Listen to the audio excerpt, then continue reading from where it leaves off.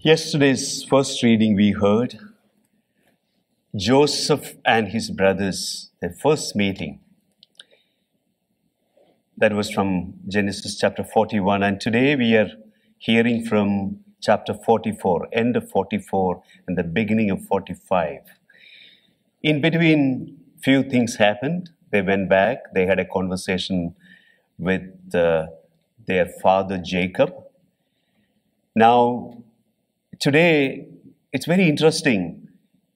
Again, they met his brother Joseph, and Joseph asked about his father and um, about everything.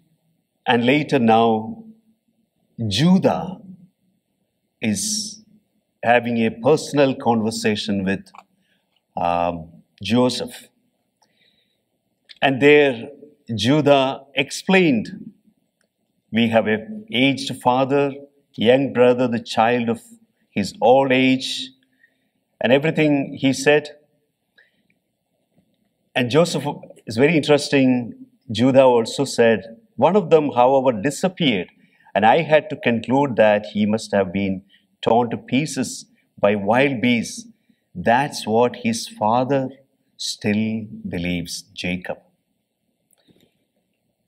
And the moment when he heard about his father, his sadness, Joseph could not control. Joseph started crying. Again, yesterday also I said Joseph was a man with a, a loving, good heart.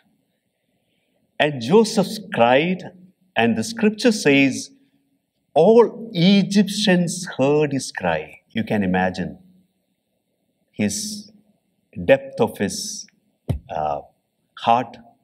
And he was so sad and he cried. He was moved with pity. And after that, he revealed, I am Joseph. And the next thing, what did he do? He was consoling his brothers. Don't worry about what you have done to me. Only God sent me here before. Because God wants to save us. So that was the attitude of Joseph. Even in our life, also, when situations, all the difficulties, when we go through, we also should have the attitude of Joseph. Because God can make everything for good. Romans 8 28. It's a very beautiful word of God. It says, God does everything for good, all those who love Him. So when things happen, it's like a dots. Only at the end of the day, when we connect the dots, it will become a you know a beautiful picture.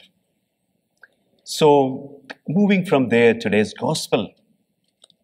Again, gospel is also.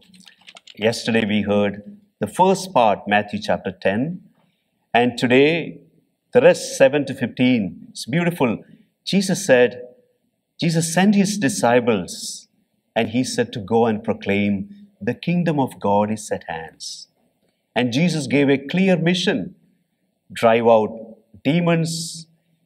The one of the striking thing, highlighted thing for me, like Jesus said, without cost you have received, without cost you are to give. Whenever we hear the word of God, there is a temptation or a tendency we can think about, oh, this is like 2000 years ago, Jesus spoke to his apostles. No, Jesus is, it is today, now, Jesus is speaking to us. Without cost you have received. Without cost you are to give. We all have a unique, specific mission, and we should be generous. Whatever we have, all the talents, all the gifts, everything is a free gift of God.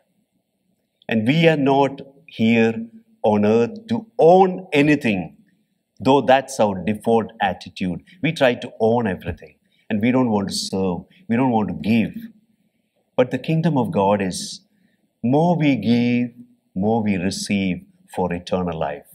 So that's a beautiful thing. And Ephesians 2 8 to 10, again, grace is a free gift. 1 Corinthians 4 7 also St. Paul is asking, Is there anything in your life not what God has not given to you? Everything is a gift.